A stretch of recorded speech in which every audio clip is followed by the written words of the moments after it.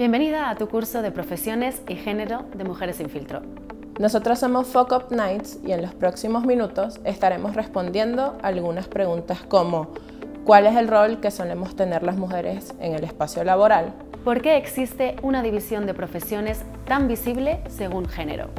¿Qué pasa cuando una mujer se mete en trabajos de hombres? Comencemos con la pregunta inicial. ¿Tú crees que existen profesiones para cada género? Posiblemente me dirás que no, ni que siguiéramos en la era del caldo para creer que las mujeres no pueden dedicarse a lo que quieren. De hecho, si vemos cifras, hay un incremento del 9% en la participación de las mujeres en el mercado laboral desde 1990 en América Latina y el Caribe. Por el cambio cultural que ha habido en nuestra sociedad, sería normal afirmar que definitivamente no existen profesiones para cada género y que tanto mujeres como hombres pueden realizar el trabajo que deseen. Pero te has puesto a pensar en las profesiones e industrias feminizadas que siguen estando vigentes hoy en día. Cocinar, lavar, cuidar de la salud y la alimentación de los integrantes de la familia. Ayudar con la tarea de los hijos, atender el hogar y hacerse cargo de todas las actividades relacionadas a la vida reproductiva y familiar son tareas que se nos han asignado históricamente a las mujeres, sin remuneración alguna, claro está. Quizá en la narrativa social las mujeres y los hombres somos iguales, pero siguen existiendo trabajos de los que únicamente nos hacemos cargo las mujeres. Si nos pagaran por cada plato que hay que limpiar en la casa, por cada comida que cocinamos o por cada salida del trabajo para cuidar a un hijo o hija que se siente mal, las mujeres estaríamos ganando en promedio 67.992 pesos mexicanos anuales, un equivalente a 5.660 pesos al mes.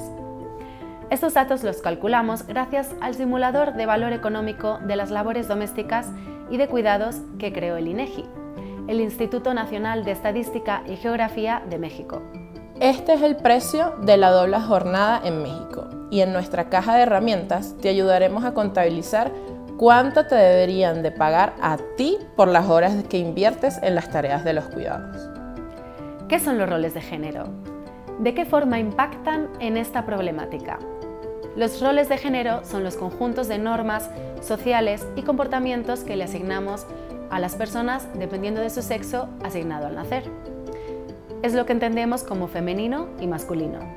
Al hablar sobre mujeres que emprenden o se insertan en el mundo laboral y tienen familia, solemos escuchar frases como las mujeres son muy emocionales, las mujeres que trabajan no son buenas madres o las mujeres al ser tiernas no tienen lo necesario para tomar decisiones firmes o ser jefas. Pero yo creo que se necesita de mucho carácter y liderazgo para sacar adelante la salud física y emocional de una familia completa. ¿No lo crees? Los roles de género no tienen sustento biológico ni científico y han ido cambiando a lo largo del tiempo. La sociedad nos manda mensajes todo el tiempo sobre las actividades que deben de realizar los niños y las niñas. A las niñas les regalamos muñecas, cocinas, artículos de limpieza y bebés para que jueguen. Mientras que a los hombres se les regalan coches, juguetes de doctor, bombero o policías. Esto sigue reforzando la idea de que los hombres tienen que hacer ciertas actividades y las mujeres otras. Y afecta directamente la forma en la cual nos desarrollamos profesionalmente. Si no nos crees, checa estas cifras. Según la ONU, solo 22 mujeres en todo el mundo son jefes de Estado o presidentas de un gobierno. En América Latina y el Caribe, las tasas de participación laboral de mujeres es del 25% menor a la de los hombres, según reportó la Organización Internacional del Trabajo en 2018. El 47% de las mujeres en México que tiene hijos no trabaja, según datos del Instituto Mexicano para la Competitividad del 2022. Estos datos comprueban que el camino que tenemos las mujeres para insertarnos al mundo laboral está lleno de obstáculos. Y si lo hacemos, tenemos menos probabilidades de llegar a puestos de liderazgo, en Mujeres sin filtro creamos una sección complementaria a este video llamado Caja de herramientas, donde te brindamos recursos para que puedas utilizar hoy. Estas herramientas tienen el objetivo de transformar el panorama de la doble jornada laboral. Visibilizar el trabajo no remunerado que hacemos nos podrá ayudar a tener estas charlas en el ámbito privado y a facilitarnos recursos para emprender, ya sea en tiempo o dinero. Primera herramienta. Contabilizar horas de trabajo, organizarlas y distribuirlas. Con un temporizador o una aplicación como Timesheet o Working Hours puedes contabilizar las horas que le dedicas a las tareas del hogar. Tener idea de cuánto extra estás trabajando en comparación a otros miembros de tu familia es clave. Junto con los miembros de tu familia o las personas que viven en tu casa, hagan una lista con todas las tareas que son del hogar.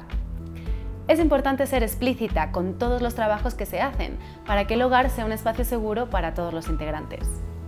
Una vez que se enlisten las tareas y se contabilicen esas horas, habla con los miembros de tu familia y repártanlas. Anoten en un calendario cuándo y quién hará cada una de las tareas.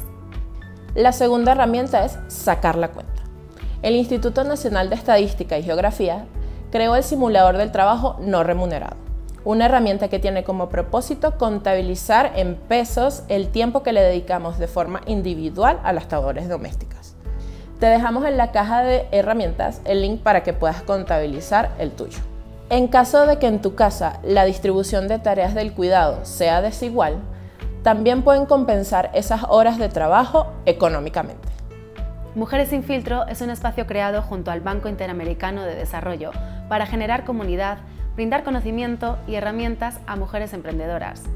Te invitamos a revisar la caja de herramientas y el artículo complementario.